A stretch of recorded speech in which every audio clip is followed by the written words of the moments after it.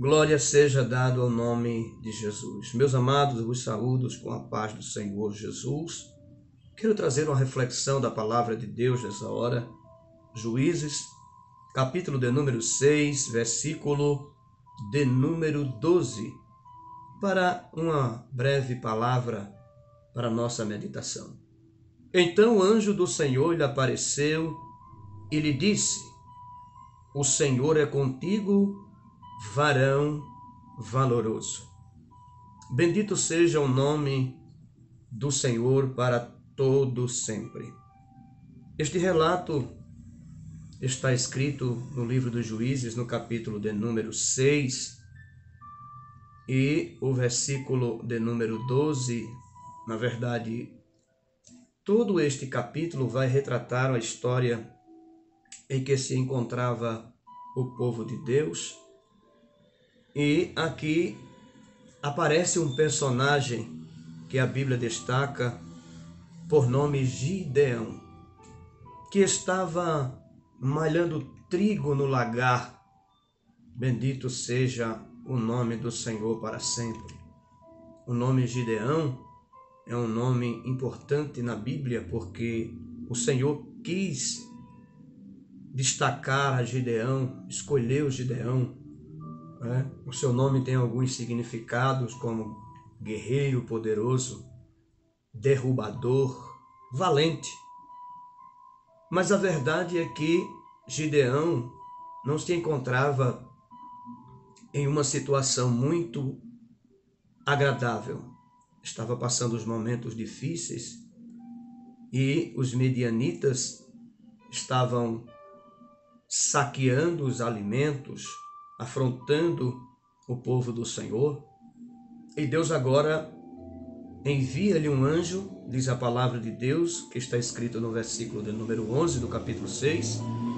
O anjo veio e assentou-se debaixo dos carvalhos que está em Ofra, que pertencia a Joás. E Gideão, seu filho, estava malhando trigo no lagar para salvar-se dos medianitas. Glória seja dado o nome do Senhor.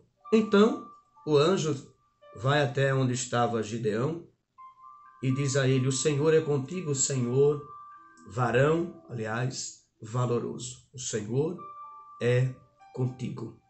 Glória a Deus. O lagar, nós sabemos que, bendito seja o nome do Senhor para sempre, era o lugar aonde ele estava, era usado para malhar, para pisar as uvas. Né?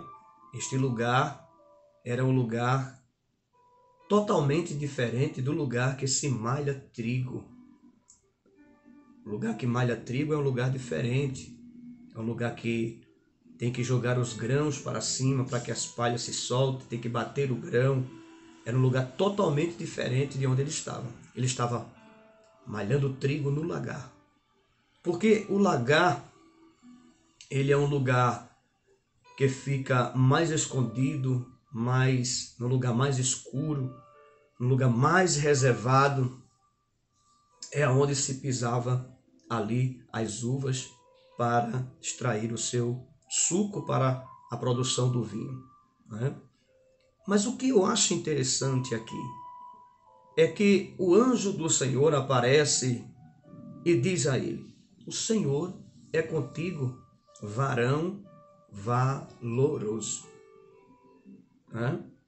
Mas Gideão, versículo de número 13, respondeu: Ai, Senhor meu, se o Senhor é conosco, porque tudo isto nos sobreveio, e que é feito de todas as suas maravilhas, que os nossos pais contaram, dizendo: Não nos fez o Senhor subir do Egito?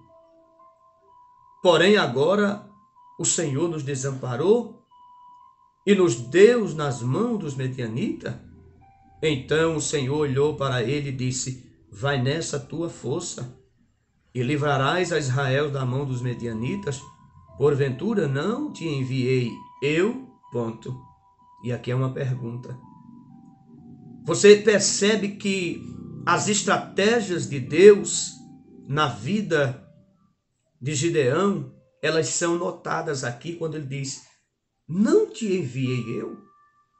Em outras palavras, Deus está falando conosco e está nos dizendo assim: Não sou eu quem te escolhi, não sou eu quem tenho te dado, bendito seja o nome do Senhor, estratégias para vencer em tempos de dificuldades, em tempos de crises, em tempos de guerras, seja elas espirituais, seja elas físicas, seja ela financeira, seja ela conjugal, seja ela em qualquer extensão, Deus nos dará uma estratégia para vencermos estas guerras no seu nome e na força do seu poder. Bendito seja o nome do Senhor. Uma das coisas que me chamam a atenção e que quero frisar aqui é que, a, que Gideão se encontrava só. Estava no lugar estratégico. Bendito seja o nome do Senhor, mas ele estava só. E além de estar só, era um momento de dificuldade. Mas Deus tinha dado uma estratégia para que ele guardasse o alimento para o exército, para o seu povo, ou para aquele que precisasse estar ali, porque quando o Senhor nos dá a estratégia, ele sabe a maneira que nos dá, ele sabe como vai nos dar a estratégia necessária para vencermos as dificuldades em tempos de guerra, em tempos de crise. E, claro, que na nossa condição humana, nós vamos pensar como pensou Gideão: se o Senhor é comigo, porque tudo isso nos sobreveio, porque tudo isso está acontecendo.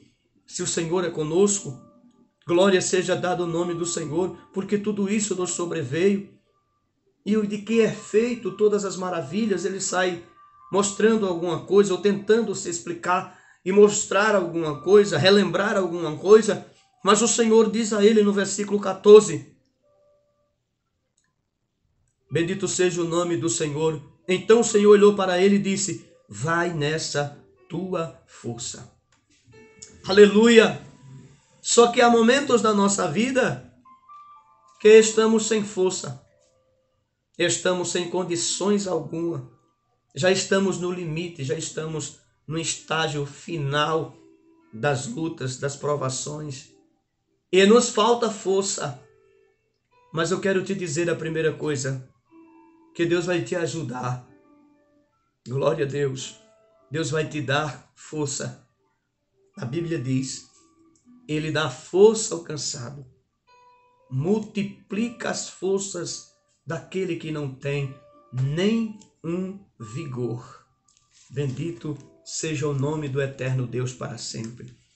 E é Ele que, em primeiro lugar, vai te dar a estratégia, vai colocar a estratégia no teu coração e no meu coração para vencermos as dificuldades em tempos de crise, em tempos de guerra, em tempos de dificuldade. Deus vai nos dar força. Né? Está escrito, Isaías capítulo de número 40, versículo de número 29, dá vigor ao cansado e multiplica as forças ao que não tem nem um vigor. Ele vai te dar força. Aleluia.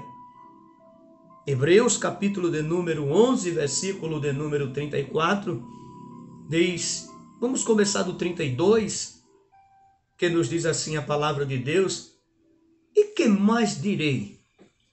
Faltar-me-ia tempo, contando de Gideão, de Baraque, e de Sansão, e de Jefté, e de Davi, e de Samuel, e dos profetas, os quais pela fé venceram reinos, praticaram a justiça, alcançaram as promessas, fecharam as bocas dos leões, apagaram a força do fogo, escaparam do fio da espada, da fraqueza tiraram forças.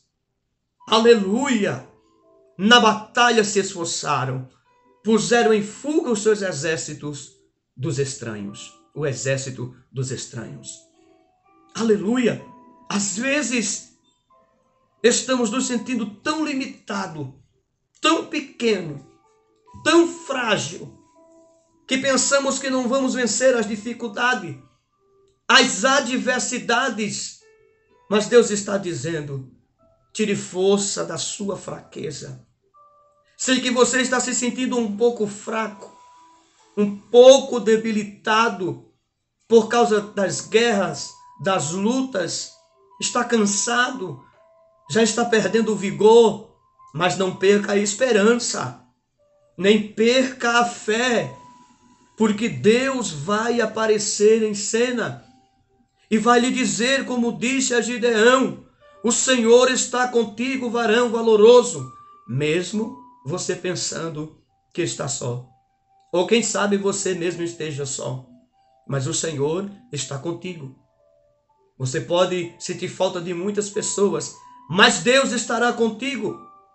Ele não vai te desamparar. Primeiro, ele vai te dar estratégia. Segundo, ele vai te mostrar que é contigo e vai te mostrar para que fim, para qual propósito ele te enviou. Aleluia! E se ele te entregou esta missão é porque ele confia em você. Aleluia! Aleluia! E se ele te entregou algo em tuas mãos é porque ele confia em você. Se ele te entregou um ministério é porque ele confia em você. Se ele te entregou alguma posição, ou você foi chamado para intercessão, ou você foi chamado para ajudar pessoas, é porque ele confia em você. Ele sabe que você é valente. Ele sabe que você não se dobra diante das dificuldades. Ele sabe que por mais que as dificuldades se levantem, você não vai ficar prostrado, você não vai desistir, mesmo com pouca força, mesmo com pouquinha fé, mas você coloca em atividade as forças pequenas, tira a força da fraqueza e também coloca a fé na atividade, na evidência. E é por isso que Deus conta com você, porque você não é covarde. Você não foge da peleja. Você não foge da batalha. E quando você lê o versículo de número 15, e ele lhe disse: Ai, Senhor meu, com que livrarei a Israel? E eis que a minha família é a mais pobre em Manassés, e eu o menor da casa de meu pai. E disse-lhe mais uma vez o Senhor: Porque eu hei de ser contigo. Aleluia! Aleluia! Deus ele é contigo para te livrar, para livrar a Israel, para livrar a sua família, para nos livrar do mal, para nos livrar a, é, até mesmo daqueles que se levantam contra ti, contra mim. O Senhor é contigo. Ele disse assim: É assim que eu vou te dar a vitória. E ele disse: Ai, Senhor meu, com que livrarei Israel? Eis que a minha família aleluia, é a mais pobre Manassés e eu o menor da casa de meu pai. E o Senhor lhe disse, por que eu? Versículo 16. Hei de ser contigo, tu ferirás os medianitas, como se fosse um só homem. Aleluia, aleluia, aleluia, aleluia. Deus está contigo mesmo nos tempos de crise, mesmo nos tempos de dificuldades, mesmo nos momentos mais difíceis da sua vida, Deus aparecerá para lhe dar a estratégia necessária para você vencer, as armas necessárias. Mesmo que você esteja só. Veja o que Deus diz aqui. Tu ferirás os medianitas como se fosse um só homem. Aleluia! Era um exército grande. Mas para Deus, nada é impossível. Descanse no Senhor. Alegra o teu coração. Vai nessa tua força, não desiste. Não pare. O Senhor é contigo, varão valoroso. Portanto, vai nessa tua força. Compartilhe essa mensagem com mais pessoas. Compartilhe esta simples reflexão com pessoas em nome de Jesus. Deus vai te ajudar.